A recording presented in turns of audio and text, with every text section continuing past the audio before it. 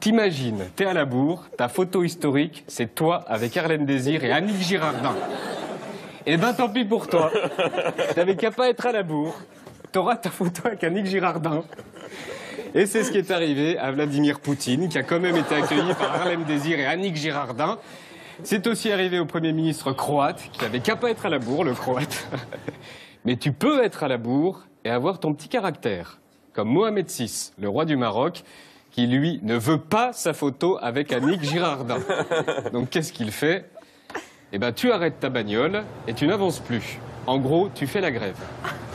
Harlem Désir et Annick Girardin attendent, ils se retournent, ils se demandent ce qui se passe. Un chargé du protocole déboule et leur dit avec un sourire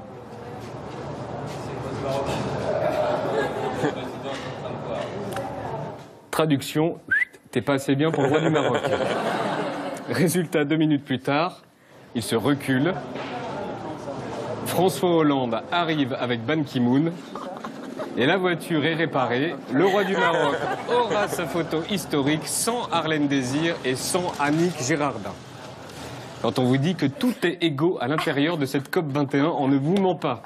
Donc je résume. Hollande a laissé sa place à Fabius, qui a laissé sa place à Valls, qui a laissé sa place au duo Annick et Harlem, qui eux-mêmes ont laissé leur place à personne. Un tapis vide.